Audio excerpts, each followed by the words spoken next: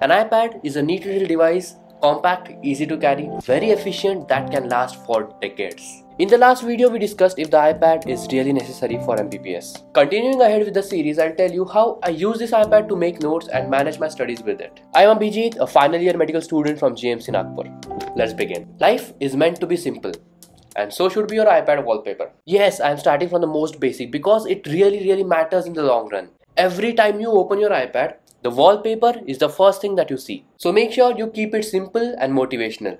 And this is my will of fire. Now let's talk about the most important part of the video. That is all the apps that medical students must have on their iPad. I have divided them into groups for a better understanding of the workflow. Let's first talk about the uncertainty that gives me nightmares every day. That is preparation for the next PG exam. The apps I use for the preparation are DAMS, Marrow and pre-PG. This is not at all a sponsored video so I'll tell you everything about how I use each and every app. First of all I started with DAMS from second year itself and I use that app for watching video lectures, solving tests, question banks, everything. That was my primary app.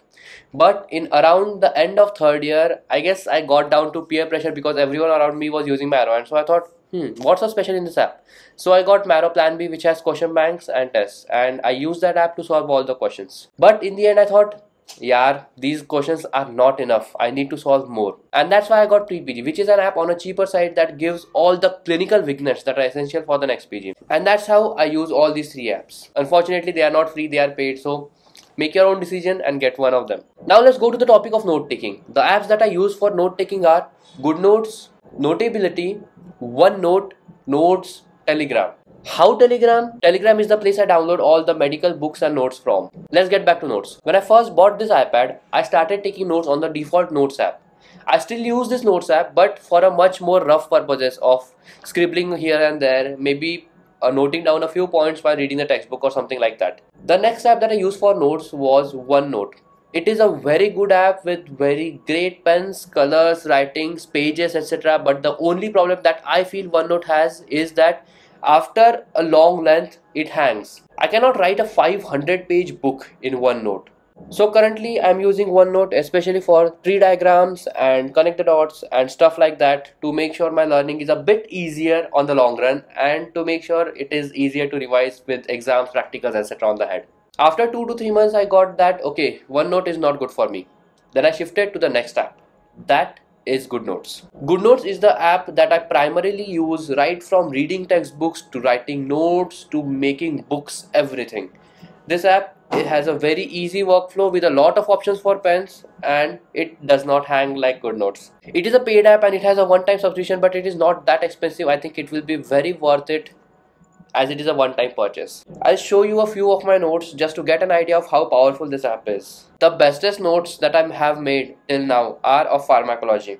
I'll tell you the overview of how I'm making notes in this app. First of all, I'm using different sets of colors to highlight different things. Usually my headings are of pink in color or red in color, something bright to catch the eye.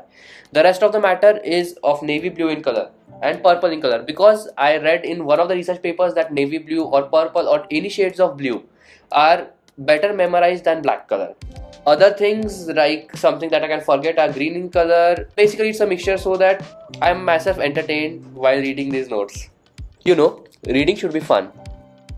So why not make it colorful? That's what my point is. Yes, it took me a lot, lot of time to make these notes. I think I spent the most time making these pharmacology notes, but the end result is amazing. Well, if you want these notes, please email me on abhijeetarchives at gmail.com.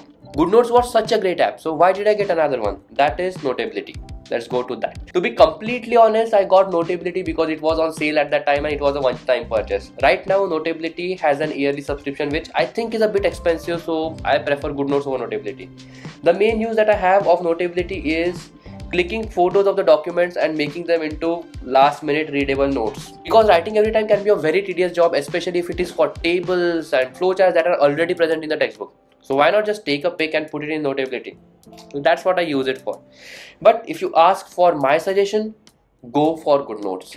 it's going to be enough for you Okay, that's enough for note taking. I know there is a lot lot to tell, but this video is dedicated for all the apps that I'm using on iPad. So the next set of apps are for focus. There are a lot of apps that help you in managing your distractions and help you focus better. First of all, inform your parents and friends that you are about to study. Well, maybe make a broadcast or group on WhatsApp and tell them. And keep your phone in airplane mode, DND mode, any mode that helps you stay away from the phone. And then and then only go for these apps and then iPad. The apps that I currently use for focusing are FlipClock, Spotify, Google Meets, Zoom Meet. FlipClock is a free app that has advertisements. It is basically a Pomodoro timer that is very very simple and well, it's just a timer app. That's all that is. But it is very effective in managing my studies, especially if I have to study for shorter durations and for multiple subjects. For those, I usually set my timer to 30 minutes. I select a subject, I read it for 30 minutes. Once the timer is up, I close the book, take a 5 minute break, in the next 30 minutes I get another subject and do the same. That way I can revise multiple subjects in the same day and it does not clog my brain. The next app that I use is Spotify. I have a premium subscription of Spotify which is student version of like 59 rupees per month and I think it is very affordable. I usually use it for chilling, study music, etc. etc. Chill Lo-Fi Study Beats is my favorite playlist for study music. It helps me focus a lot and I remember focusing for straight 4 hours by just this playlist. And of course I did not sleep, I studied, okay? Well, that's all for Spotify. So how did I use Google Meet and Zoom Meet in studies? I found this idea very effective, especially during the pandemic when I was at home and I was seriously lacking motivation. That's when my friends helped me. I just Google Meet them. We sit together for like half an hour to one hour and study. And whenever I feel like यार motivation नहीं आ रहा यार distraction हो रहा है यार मेरी इच्छा ही नहीं है I look at my friends and see ये लोग पढ़ रहे हैं भाई अपना भी फ्यूचर बनाना है and then I indulge myself in studies as well. Well, that's how you can use Google Meet. You can try Zoom Meet as well if you are more number of people. Other things you can do it on are lecture, studies, etc. etc. It is up to your imagination how you want to use it. Okay studies तो बहुत हो गई. What else can you do on iPad as a medical student The main thing that you should do as a medical student are side hustles. Because studies in the medical field are really really draining. So this is a very important part of my life and i think you should try it as well. The side hustle need not be for money or fame or anything. It's just something that you use to fuel your mind so that you know that there is a world outside these books. For me the apps that i use for side hustle that is youtube are youtube studio lumafusion canva and notion I can talk for lengths about Notion and maybe I'll do it in some other video. For now, you just need to know that Notion is an app that helps me organize a lot of things. Even while making this video, all the important points that I have are added in this Notion app. I think I'll give you a bit of a demo about this app. This is my Notion homepage. I call myself Sunday at work on Notion for no particular reason at all.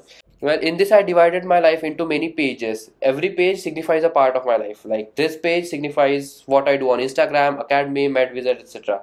Then there are YouTube scripts that I'm not going to tell you because it will reveal my future videos and I don't want to spoil the surprises. Notion is basically an app that you can organize your life into. It basically acts as a second brain and helps you keep tab of studies, recreation, YouTube, Instagram, anything that you're doing in your life. I usually feed it my personal thoughts. I use it as my personal diary. I use it as my YouTube script writer and basically anything that I think my brain will clog into. Whatever it is in here, I put it in Notion that's all. It is a very powerful app and it is free for one user. I know it is a bit hard to master but once you are good at it you'll rock. Next and last category that i want to discuss with you about the apps on my ipad is recreation. For recreation i use apps like youtube tumblr pinterest books and facebook. Facebook is an app that i don't use very much and youtube is for youtube stuff like anime stand-up comedy a video here and there my own study with me videos maybe and the video that you are watching right now stuff like that Books app is for books like any other app, Adobe Reader, PDF Reader, Drive, etc. The most recreational time that I spend is on three apps that is Tumblr, Pinterest, and Reddit. I am an avid reader and I like to read anything from books, facts, thoughts, etc. And Tumblr is a place where every weird meme, fact, etc. is there and it sort of feeds my imagination and helps me keep out of touch of reality. This is an imaginary place for me where anything weird can happen. Pinterest is where i get all the quotes happiness mindfulness wealth etc and a lot of cute cat pictures that i really love watching. Reddit is the app that I use when I need guidance for how to use MacBook, how to use iPad, how to record a video, how to edit it, etc. It's sort of a collection of people that help other people in doing little little things so this is the set of all the apps that i'm using that i found throughout the three years of using the ipad and four years of being in mbbs and six years of studying for this grueling course and 22 years of my life I think that's a lot of time so you can definitely trust the credibility of the video. Last but not the least is a warning that I want to give you. That is Technology is a useful servant, but a very dangerous master. We already live in a cyberpunk world and this is an early stage.